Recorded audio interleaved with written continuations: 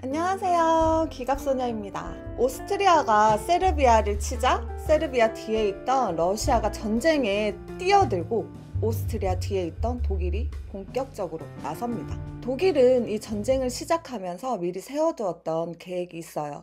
독일의 장군 알프레드 폰 슐리펜이 1차 대전이 일어나기 9년 전인 1905년에 작성해뒀던 전쟁 계획이에요. 일명 슐리펜 계획이라고 하죠. 지도를 보면 독일의 최대 고민은 왼쪽으로는 프랑스, 오른쪽으로는 러시아를 상대해야 한다는 거죠. 전쟁이 일어났을 경우 두 나라를 상대로 두 개의 전선을 펼쳐야 하거든요. 러시아는 땅덩어리는 큰데 철도는 후져. 본토에서 독일까지 병력이 오는데 시간도 많이 걸려. 그러니까 병력을 총동원해서 프랑스를 번개같이 조지고 그 병력을 동부 전선으로 다시 이동시켜서 러시아를 상대하면 돼. 이것이 바로 슐리펜 계획의 큰 틀이었죠. 독일은 당시 철도가 엄청 발달해 있었으니까 빠르게 병력을 이동시키는 건 자신이 있었어요. 슐리펜 계획의 또 다른 특징은 프랑스를 일직선으로 치지 않는다는 거죠. 복싱 아시죠? 복싱. 복싱에서 라이트 훅을 날리잖아요. 이렇게 날리듯이 중립국인 벨기에를 통해서 공격하겠다는 거죠. 이렇게 오른쪽으로 휘어서 때리는 거죠. 프랑스를 공격하는데 벨기에를 거치겠다는 발상을 한 이유는 두 가지예요. 첫째, 독일과 프랑스 국경 지방에 있는 요새. 여길 정면으로 돌파한다는 건 자살 행위죠. 둘째, 벨기에는 군사력이 약한데 그쪽을 돌파한다면 수도인 파리가 가깝다는 거죠. 근데 또 이 계획이 좋은 계획이냐 아니냐 논란이 아주 많아요. 두 나라를 상대해야 하는데 독일로서는 이게 최선의 전략이었다 말하는 사람이 있는 반면에 공격의 힘을 과신한 나머지 방어의 힘을 너무 우습게 본 거 아니냐 무모한 작전이다 하는 사람들도 있습니다. 문제는 이게 좋고 나쁜 걸 떠나서 독일이 전쟁에 대해서 플랜 B를 갖고 있지 않았다는 거죠. 이 작전 외에 다른 작전은 없었어요. 그리고 슐리펜의 머릿속에는 오로지 프랑스 뿐이었다는 거죠. 아니, 근데 벨기에는 빙다리 핫바지냐? 아무리 군사력이 약해도 어금니 깎게 물고 버티면 어떡할래? 그리고 영국이 가만히 있는다는 보장은 어디 있는데? 슐리펜은 이런 상황에 아무, 아무런 고민이 없었고 그것이 실제로 일어났습니다. 독일군은 벨기에 군대를 초콜릿 군대라고 불렀어요. 벨기에가 초콜릿으로 유명하잖아요. 고디바 초콜릿 아시죠? 아, 이거 맛있는데 좀 비싸요. 그래서 초콜릿 군대라고 부른 것도 있지만 워낙에 허약해서 이렇게 흐물흐물 녹아내린다 해서 또 초콜릿 군대라 불렀어요. 그래서 이렇게 한 방이면 갈 줄 알았죠. 실제로 벨기에군은 당나라군 그 자체였어요. 군기도 엉망이고 무장도 전투력도 허접하기 짝이 없었죠. 여기 사진 보세요. 진짜 기가 막히죠. 기관총을 개가 끌고 가고 있고 철모도 없이 실크 모자를 쓰고 전투에 나서는 게 벨기에 군이었어요.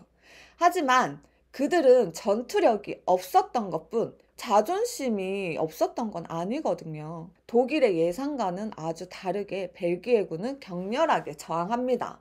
수도인 브리셀로 들어가는 길에 리에주라고 인구 16만 명이 사는 도시가 있었는데 이게 요새 도시였어요. 벨기에군은 이곳에 삼각형 보루 11개를 설치해 두고 3만 2천 명이 집결합니다.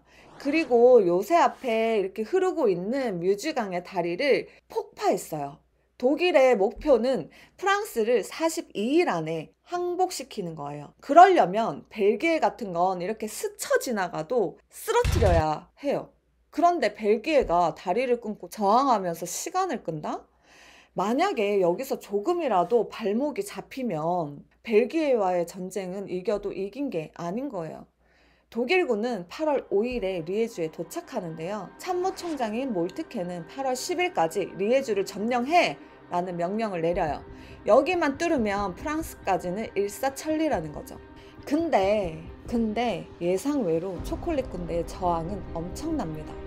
전력은 당연히 독일이 몇 수 위지만 벨기에는 방어를 하고 있잖아요. 공격하는 쪽은 방어하는 쪽보다 3배 정도 병력이 더 많아야 병력의 균형을 맞출 수 있다고 할 정도로 전투라는 건 공격보다 방어가 유리하죠. 벨기에가 격하게 저항하면서 독일군에 엄청난 피해가 발생합니다. 뮤즈강을 건너려고 독일군 6만 명이 막 돌진하는데 이걸 2만 명의 벨기에군이 막아내요. 독일군은 이때까지만 해도 벨기에군이 자신들을 공격할 거라 생각하지도 않았을 만큼 아니했어요. 치열한 교전 끝에 결국 밤이 돼서야 겨우 강을 건넙니다. 그런데 끝이 아니죠. 그 언덕, 언덕 뒤에는 리에주 요새가 떡하니 버티고 있습니다. 여기서 쏜 기관총에 독일군이 떼죽음을 당해요. 진짜 독일군이 얼마나 얼마나 많이 죽었냐면 독일군의 시체가 산처럼 산처럼 바리게이트가 되어준 덕분에 후속 부대가 벨기에 군의 공격을 버텨냈을 정도예요. 독일군이 벨기에 침공에 동원한 병력이 75만 명인데 2만여 명의 사상자가 발생해요. 이렇게 물량을 쏟아 부었지만 8월 10일이 되도록 리에주 요새는 함락되지 않았고 목표 날짜보다 일주일이 더 지난 8월 16일이 돼서야 독일군은 리에주 요새를 돌파합니다.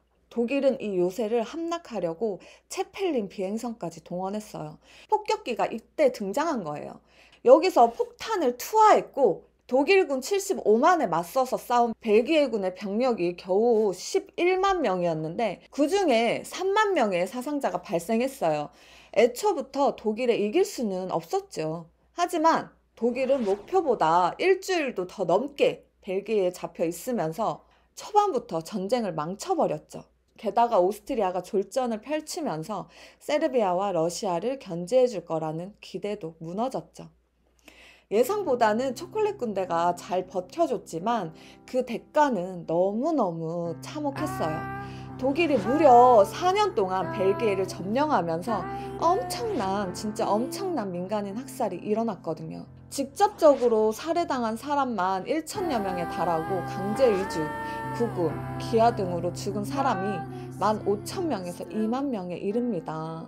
그래도 벨기에의 분전은 전쟁 초반부터 독일의 발목을 꽉 잡았고 벨기에와 동맹을 맺고 있던 영국의 빠른 참전을 불렀어요. 42일 안에 서부 전선을 씹어먹고 동부 전선으로 룰루랄라 달려가고자 했던 독일의 꿈은 전쟁 개시부터 저 멀리 헐헐 날아가고 말았죠.